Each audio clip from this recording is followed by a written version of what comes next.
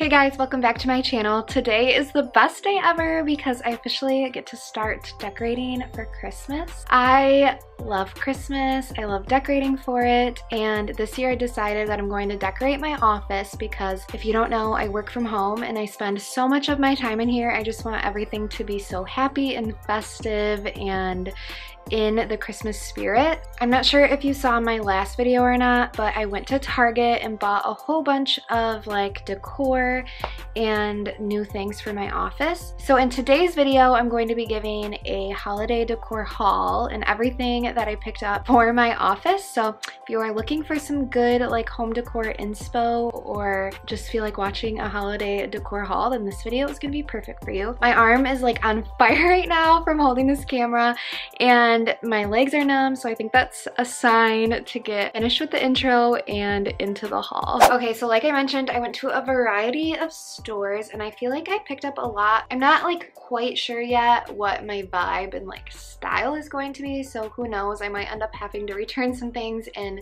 pick up more of something else. I feel like I don't really know 100% what I need until I start decorating and just like seeing how everything looks decorated. Um, so I just wanted to mention that, but now let's get into the haul. So I'm gonna start this off with Target because I feel like that's where I got majority of my stuff. The first thing that I picked up was this throw pillow that says Mary. This is from the Hearth and Hand line. I love the Hearth and Hand line. They have so many good, cute things. I will say that sometimes I feel like their line is a little too farmhouse for me, so I definitely have to be like picky or choosy. I did just say I don't know exactly like what my style is, but I I know that I'm not too big in the farmhouse decor. I do like it, I just don't want it to be like farmhouse threw up all over my office. So I try to keep it a little minimal and more like traditional and transitional, I think is the word that I actually like to use. I don't know. I'm not a home decor person, but I'm pretty sure that transitional is actually like the correct term for my style. So I picked up this pillow. It just says Mary. I love the neutral and I picked up this one too to go with it. I thought they would look cute on my couch behind me so I'll just remove those pillows most likely and use these instead. I love this one too because I feel like not only is it like kind of Christmassy because it has like more of that like textured sweater material but I also think it will look good on the couch like all winter long and it's also very versatile so I love this pillow. I'm a big throw pillow person. Okay, so the next thing that I actually got from Target is this faux tree.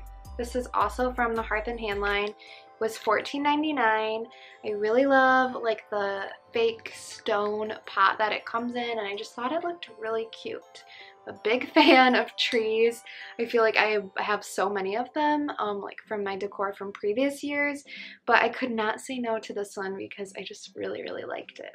Okay, so the next thing that I picked up from Target was this garland. It is like a six feet garland and it has like the holly berry, pine cones, and then just the normal Christmas greenery.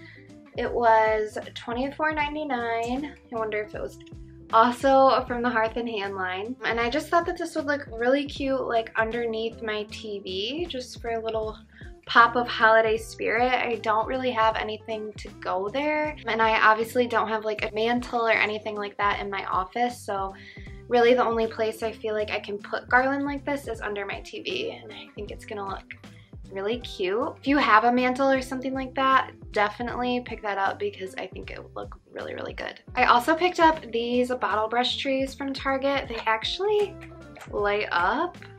I haven't really played with the settings on it yet, I'm not sure if they like flicker or stay lit or what, but I thought that they were really cute. And I kind of mentioned like I want everything to be very like traditional um, and kind of like neutral in a sense, but I don't mind like little pops of color. I really like these bottle brush trees. I think they were sitting in the bag too long. They're like slanted, so I'm gonna have to play with them. But I thought that they would look cute like on the side of my TV, on the mantel, or maybe on some shelves that I have in my office.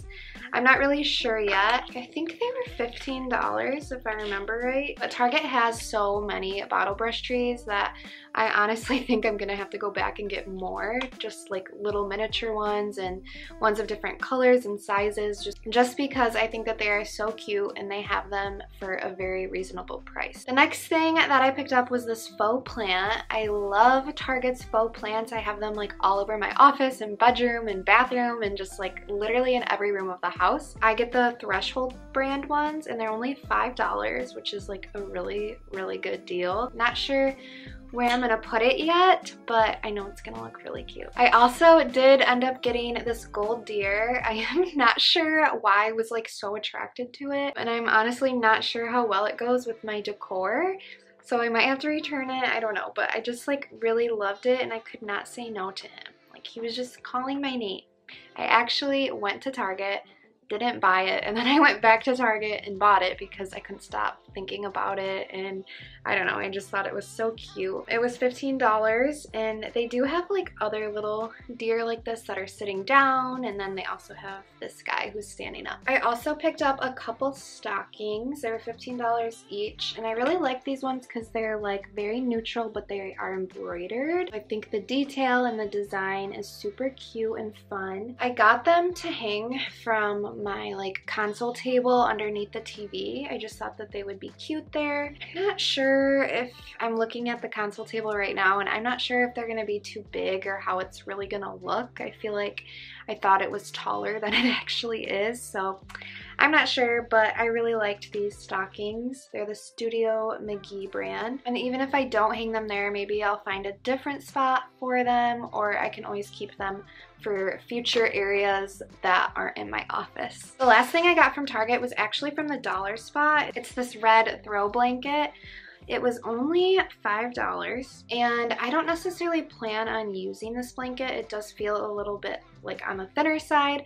I actually bought it because I have these two baskets underneath my TV that are black. I thought it would be cute draped in the basket just for like a pop of color and to kind of tie in like the bottle brush trees and the little pops of red that I have. So I'm super excited about this and it's amazing that it was only $5. I think they also had them in white and maybe black if I remember correctly. I'm pretty sure I put a clip in my Target shop with me, so definitely check that out if you're curious. And then the next thing that is new that I got for this year's Christmas season is actually from Home Goods. And it is a little farmhousey in my opinion. Um, but it's this sign that says, May your days be merry and bright. Definitely farmhouse style. But I have a shelf in here where I have a photo of like the Cubs stadium and I thought that it would be cute to swap that out with a sign that was a little bit more Christmassy and let me tell you I had the hardest time finding one like seriously every store I went to they didn't have ones that were like big enough or that were in the right shape that I needed or that had a saying that I liked. This was honestly the only one and I was a little hesitant because I felt like it was kind of farmhouse but I thought if everything else you know, wasn't farmhouse, it would help tone it down a little bit. Like I said, I do have decorations from the previous year, so I'm just kind of curious to see how everything meshes together and what I need to pick up or return and all that because I definitely want a theme and I don't want it to be like decorations just threw up all over the place.